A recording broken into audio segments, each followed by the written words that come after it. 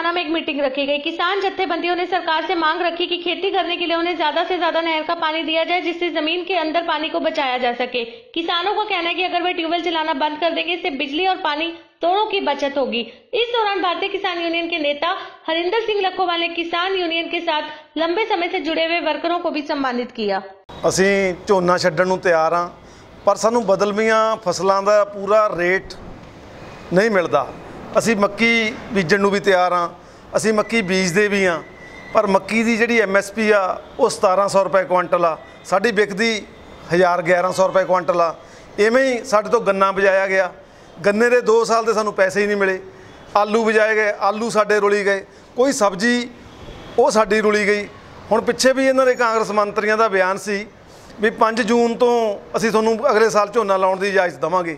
ਐਤਕੀ ਵੀ ਇਹਨਾਂ ਨੇ ਕਹਿ ਕੇ ਉਹ ਵੀ ਇਲੈਕਸ਼ਨ ਕਰਕੇ 20 ਜੂਨ ਸੀ 13 ਜੂਨ ਕੀਤੀ ਆ। ਉਹ ਵੀ ਸਾਨੂੰ ਅਜੇ ਬਿਜਲੀ ਨਹੀਂ ਆ ਰਹੀ।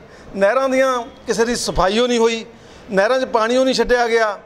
ਇਹ ਬੜੀ ਵੱਡੀ ਸਮੱਸਿਆ ਆ ਰਹੀ ਆ। ਅਸੀਂ ਮੰਗ ਕਰਦੇ ਆ ਜੋ ਅੱਜ ਸਾਡੀ ਮੰਗ ਸੀ, ਵੀ ਜਿਹੜਾ ਨਹਿਰਾਂ ਦਾ ਪਾਣੀ ਆ, ਸਾਨੂੰ ਲਾਉਣ ਲਈ ਦਿੱਤਾ ਜਾਵੇ। ਅਸੀਂ ਥੱਲਿਓਂ ਨਾ ਕੱਢੀਏ।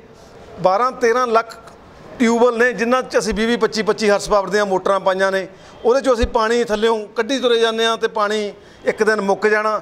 ਅਸੀਂ ਸਰਕਾਰ ਨੂੰ ਬੇਨਤੀ ਕਰਦੇ ਹਾਂ ਕਿ ਚਾਰ ਜ਼ੋਨਾਂ ਦੇ ਵਿੱਚ ਪੰਡ ਕੇ ਪੰਜਾਬ ਨੂੰ ਝੋਨਾ, ਮੱਕੀ, ਕਪਾਹ, ਨਰਮਾ, ਗੰਨਾ ਤੇ ਫਲਦਾਰ ਬੂਟੇ ਜਿੱਥੇ ਲੱਗਦੇ ਆ, ਉੱਥੇ ਉਹਨਾਂ ਦੀ ਪੱਕੀ ਐਮਐਸਪੀ ਤੈਅ ਕੀਤੀ ਜਾਵੇ ਤਾਂ ਕਿ ਜਿਹੜਾ ਪਾਣੀ ਆ ਉਹਨੂੰ ਬਚਾਇਆ ਜਾ ਸਕੇ। ਮੈਂ ਜਥੇਬੰਦੀ ਦਾ ਤਨ ਮਨ ਧਨ ਨਾਲ ਸੇਵਾ ਕਰਦਾ ਰਹਾਂਗਾ। ਪਿੱਛੇ ਮੈਂ ਨੌਕਰੀ ਆਪਣੀ ਇਮਾਨਦਾਰੀ ਕਰਕੇ ਮਾਣ ਬਖਸ਼ਿਆ ਮੈਨੂੰ ਇਹਨਾਂ ਨੇ ਤੇ ਮੇਰਾ ਬਹੁਤ ਜ਼ਿਆਦਾ ਘਰੇਲੂ ਇੱਜ਼ਤ ਮਾਣ ਮੇਰੀ ਵਧਾਈ ਦੀ ਤੇ ਮੈਂ ਆਪਣੀ ਇਮਾਨਦਾਰੀ ਨਾਲ ਕੰਮ ਸੇਵਾ ਕਰਾਂਗਾ। ਵਾਹਿ ਖਾਲਸਾ ਵਾਹਿ ਫਤਿਹ।